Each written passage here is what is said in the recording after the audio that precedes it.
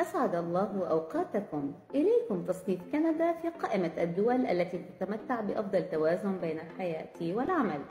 أجرت شركة ريموت تحليلا لبيانات أكبر 60 دولة لمعرفة الدول التي تتمتع بأفضل توازن بين الحياة والعمل للموظفين.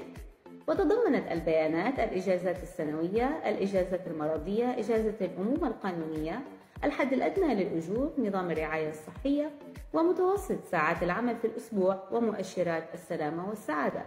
وقد احتلت كندا المرتبة الخامسة وفقا لهذا التصنيف. ومن أهم أسباب حصول كندا على هذا المركز المتقدم هو أن لديها أقصر أسبوع عمل حيث يعمل الكنديون في المتوسط 32 ساعة وهو أقل من جميع البلدان التي تم تحليلها باستثناء ثلاث دول وفيما يلي أفضل عشر دول في العالم من حيث التوازن بين العمل والحياة. نيوزيلندا، إيرلندا، بلجيكا، الدنمارك، كندا، ألمانيا، فنلندا، أستراليا، النرويج وإسبانيا. وأنتم؟ ما رأيكم بهذا التقرير؟ أخبرونا بالتعليقات.